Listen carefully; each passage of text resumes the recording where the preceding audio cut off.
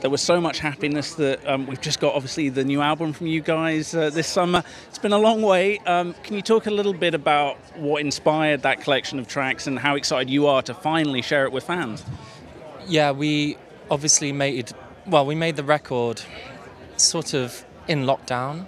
So it was about connection and it was about just feeling human again. So the music is very deconstructed. It's very kind of simple. It's like Bauhaus. It's very just raw, um, but raw pop as well. And in regard to sort of breaking down boundaries with genres, the Kooks has always been about that, and that's what we're most proud of. In terms of that collection of songs, is there one track in particular that you were most excited for people to get to listen to? Because it's all beautiful stuff, but I'm wondering if there's one as a, a most special place for you in your heart. Yes, Closer is a song. I think it's track nine and three quarters. I don't. I don't actually remember the name, the number. It just is about something which we all experience and long for, which is a positive experience with someone that we love or miss. In terms of the album title, where did that come from? Because it's something quite simple, but there's something very evocative. I think anytime we hear the word dark, it, it, it sort of, it, you know, there's something almost like magic hour about it. Yeah, there's a bit of the occult in there for sure. I think um, our sensibility as a band has always been a bit mystical.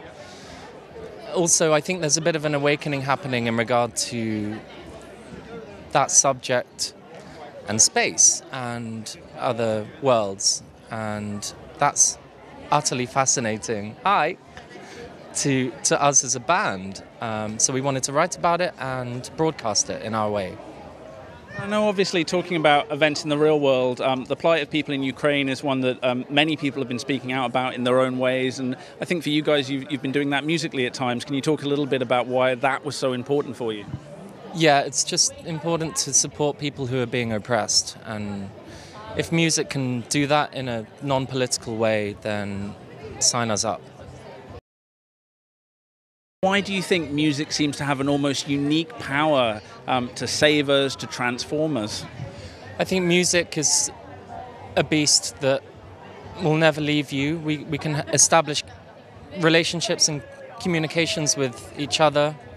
We can lose friends, we can lose relationships, we can lose parents, we can lose many things, but music is one thing which will be eternal. And it's also something which doesn't have a fully structured bona fide opinion like the art world would have. It's, it's very interpretable, and that's treasure to any artist.